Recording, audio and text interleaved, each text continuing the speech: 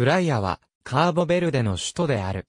同国を構成する南北二つの諸島のうち、南部のソタベント諸島にあるサンティアゴ島に位置する。プライアとはポルトガル語及びカーボベルデクレオール語で、砂浜の意味。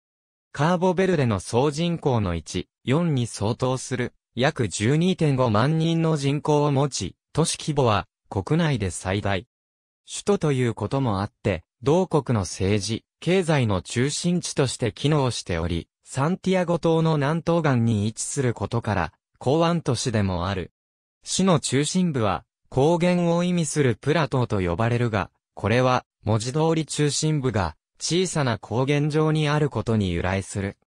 1615年、サンティアゴ島南東部の小さな高原に、ポルトガル人入植者によって、プライアでサンタマリアという名の町が建設された。これが、現在のプライアの始まりである。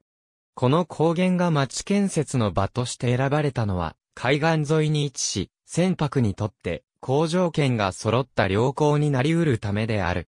町の建設当時、ポルトガル領、カーボベルデの中心都市はプライアから 15km 離れたリベーラグランデであり、プライアは小さな密輸港に過ぎなかった。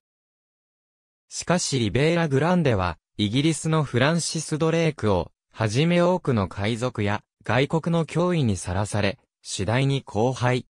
リベーラグランデの人々は次々と近郊のプライアへと居を移し、1770年にはプライアがポルトガル領、カーボベルデの新たな中心地となった。1858年には町から市へと昇格している。カーボベルデが1975年に独立すると、プライアはその首都となり、現在に至るまで引き続き国家の中枢としての地位を保っている。プラトーのほか、多くの小さな高原や谷、そして海岸に囲まれている。熱帯性の気候を持ち、年間を通じて気温が高く、平均気温は摂氏20度以上である。一方、降水量は年間 150mm から 300mm と少なく慢性的な水不足に苦しむ。数少ない降雨は雨季である8月から10月の間に集中している。欠片の気候区分では砂漠気候に属する。ポルトガル領時代のプライアの地域は厳密にはプラ島だけに限定されており、現在の地域にまで拡大したのは1975年のカーボベルデ独立以降のことである。独立後、国内の各島から相次いで人口が流入し、1975年からの33年間の間に市の人口は4倍に膨れ上がった。前述のように2008年推計時点での人口は約12.5万人と国内最大の規模となっており、プライアへの一極集中の様相を呈している。同時に、人口の集中と過密状態は、インフラの整備と拡充などの課題も生み出している。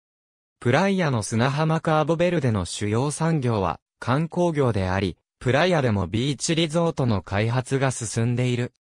またサンビセンテ島のミンデロと並ぶ国内の主要港湾都市でもあることから、魚介類及びコーヒー、サトウキビ、トロピカルフルーツといった農産物の輸出、消費財や工業製品、食料品、飲料水などの輸入、そしてそれに伴う貿易上の小取引は重要な産業である。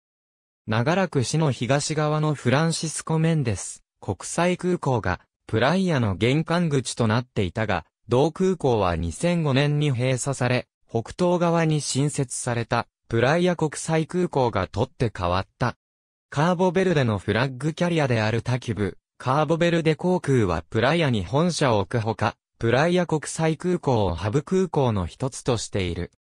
プライア市庁舎市内にある大統領宮殿は、元は19世紀にポルトガル人行政官の皇帝として建設され、独立後に大統領の居住地とされた歴史ある建造物である。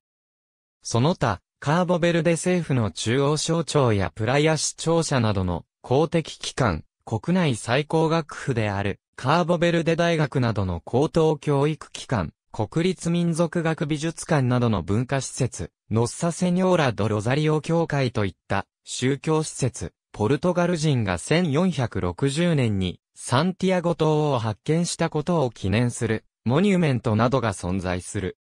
スポーツ施設としては8000人が収容可能なエスタジオダバルゼアが存在し、サッカーカーボベルデ代表がホームスタジアムとするなど、主にサッカーの試合に利用されている。ありがとうございます。